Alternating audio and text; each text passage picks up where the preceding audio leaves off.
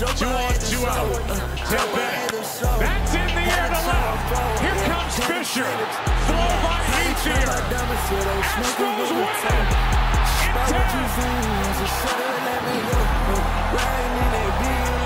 In 10. Should the Astros be stripped of their title?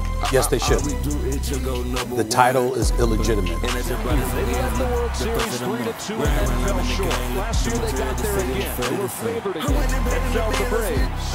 Another shot and another way. Down the right field line. Tucker comes on. Kyle the job.